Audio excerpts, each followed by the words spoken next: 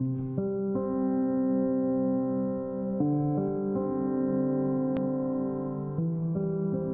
Parks Build Community Project really started six years ago in D.C., Washington, D.C., and it was the Marvin Gaye Park.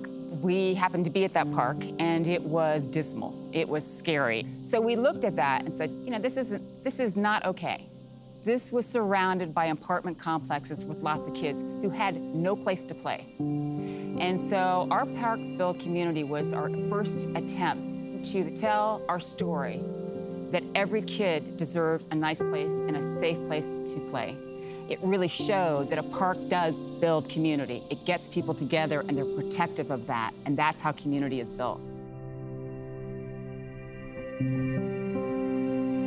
You know, parks are public spaces, and every community, every neighborhood deserves a park and deserves a high quality park.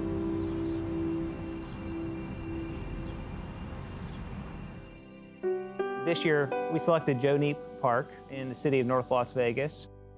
It's a very diverse community. There's a lot of strength, but definitely one thing that they do need are resources and open spaces, safe places. It was around a lot of housing, but it was a pretty dismal park. There was really nothing for the kids to do. For her age, it's just a slide that she can go down. There's nothing really safer for her. roughly 4,000 kids are within walking distance of Joe Kneip Park. So when we dedicate the park on the 17th of September, we will be opening up to the community with a new splash pad, a new picnic area, a new soccer field, new playgrounds, new fitness equipment, really a brand new park uh, in this community. We felt that uh, putting uh, other fitness equipment in that particular spot will enhance the community's ability to have a better life promote their wellness, to exercise more, and maybe spend more time in the parks. Parks are vital because they help to transform communities.